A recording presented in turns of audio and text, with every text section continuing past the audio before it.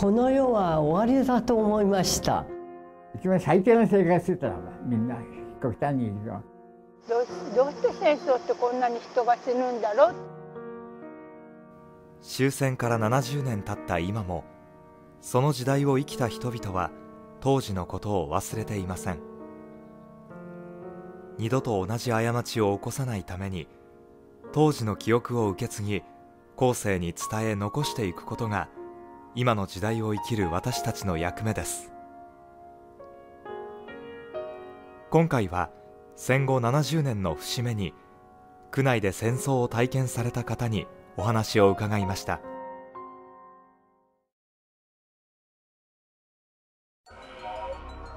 中央区は昭和19年11月に行われた浜離宮への空襲をはじめとして昭和20年8月の終戦までに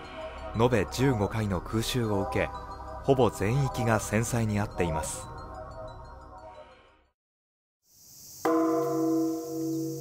江戸時代に時を告げていた国鳥の鐘。今では毎年終戦記念日に戦没者の慰霊と恒久平和を願い地域の方々により鳴らされています。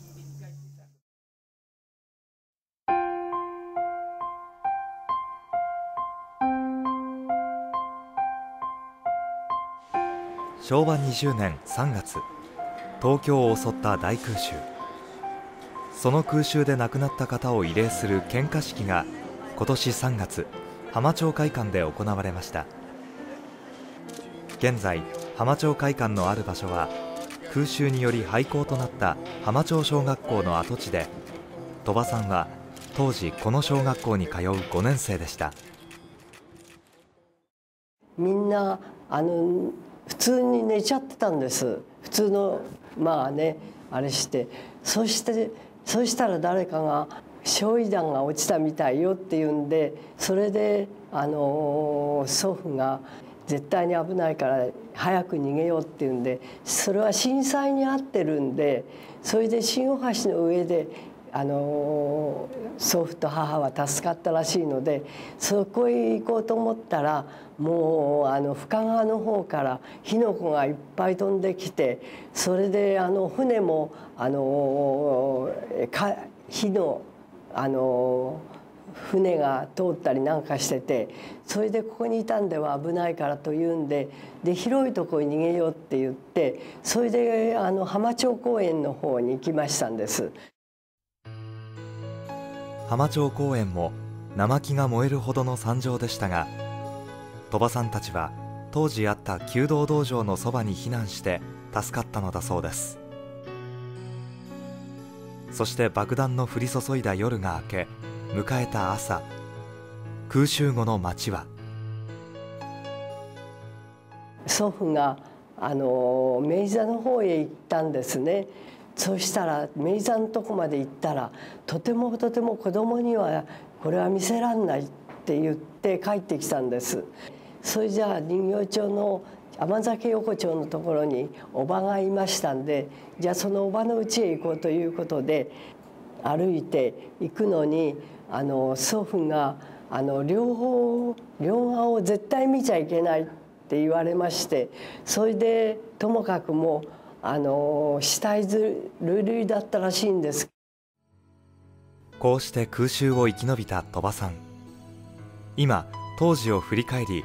戦争はいけないと切に語ります。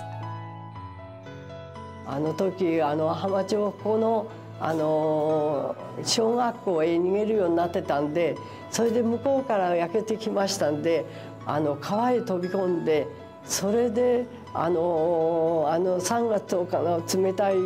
川の水にあのこう石垣に捕まってまあねそれが凍えてあの流された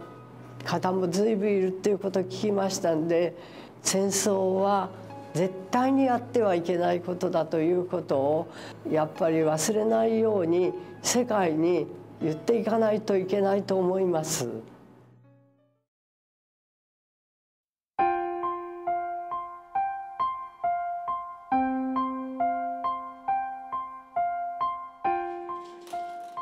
高齢者の方々の憩いの場所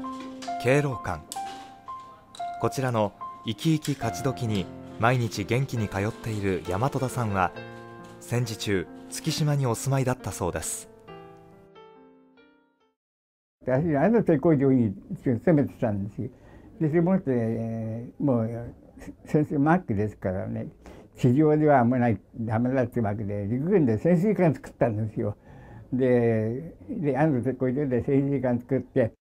直管工事なもんですから浸水がうまくいかなかったもんです。レールが下がったんですね。だからあの潜水艦が作んじゃったわけですよ。それで引き船で2杯で引いてもねもう作んじゃったものがね動かないって状態がありましたよ。大和田さんは軍に立ち退きを命じられ親戚のいた房総に疎開したそうです。その当時を振り返って辛かったことをお聞きすると。食料が十分に行き渡らないってことですよね。初めは良かったんですよ。買い出し買い出しに行く時代は良かったんですけど買い出しも行けなくなっちゃいましたし海へ30分ぐらいかけて行って塩水あ持ってきて、えー、それで火を作ってましたよ。いろいろものが不自由してて、まあ、回ってこないんですね民間にはね。この修理軍のね錆び残したものを捨ててありますね。それ賢い人間はそれを取ってきて水を入れて鍋から持ってあの温めて売ってましたね。買ってたら安くね。元はただですからね。食べ残しを持ってきて水入れて、うん、温めて売ってたっていうのそんなのも記録残ってますね。さまざまな辛い経験を経てきた山戸田さんにとって平和とは？どういうものかといえば平和となれば何て言いますか安全と言いますか心が休まられるというのでしょうね。これという心配がないでしょうけどね。いつも爆弾を起こしるかね何か使っていう恐怖心はないからでもが一番ですよね。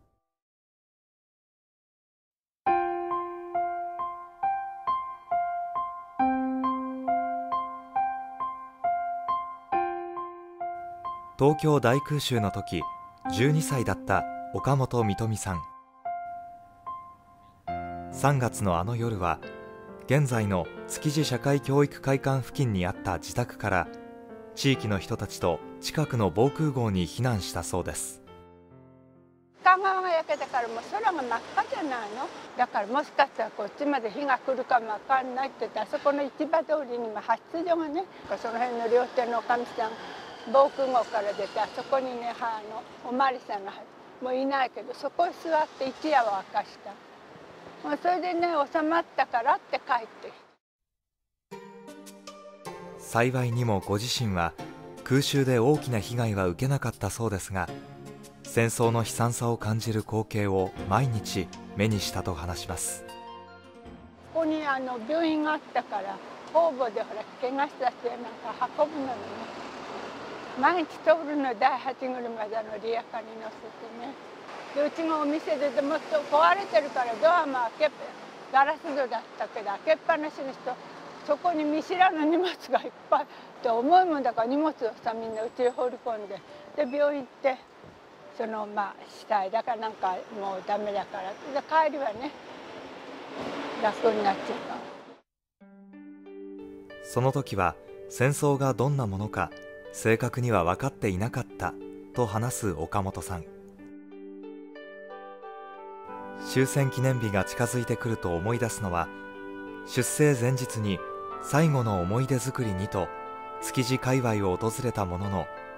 戦時中のことで営業しているお店はほとんどなくたまたま岡本さんの家でお酒を飲むことになった兵士さんたちなのだそうです。それで夕方日が暮れかかったら「あっ」と言ってねそれで何とか言って「いやそろそろ失礼しよう」その中の一人がねあの親切にしていただけて嬉しかったって。でおばさんお嬢ちゃんって僕たちが日本は守りますからしてねあのお二人たちが、ね、困るようなことはさせ皆さんが困るようなことはしないように守りますからおばさん体弱そうですけど頑張って生きてください。私にもねどんなことがあっても生きてください。僕たち頑張って守りますから。ねだから私戦争は嫌だったけどその時にその子供あのあんな少年たちでも一つになるそういう純粋な気持ち。そういうものはとても尊かったと思う。戦争の時代を生きた岡本さんに戦争がない世界を作るために何が必要かお聞きしました。やっぱり一人一人のね気持ちがね自分のことじゃなくて相手を思いやる相手の身になって考えるってことができればもうちょっと平和になるんじゃないかな。戦争によって奪われた多くの命そして生活の苦労。それは二度とあってはいけないことです。世界の高級平和に貢献するため1988年3月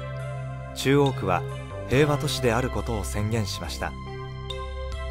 今一度立ち止まり平和の尊さを見つめよう。ささやかな幸せもこよなき繁栄も平和の光が消えたなら全てが失われる。私たちの手にあるこの輝きを明日の世代に伝えよう。1988年3月15日。この日私たちは永遠の平和を願い中央区が平和都市であることを宣言する。この宣言の理念に沿って区ではホームページに中央区平和記念バーチャルミュージアムを作成。戦災に関する写真や資料を公開しています。戦争を知り語り継いでいくために佃中学校では戦争や平和に関する学習を実施。その学習の集大成は広島への修学旅行で生徒たち自身が考え行う折り鶴奉納式平和記念式典です。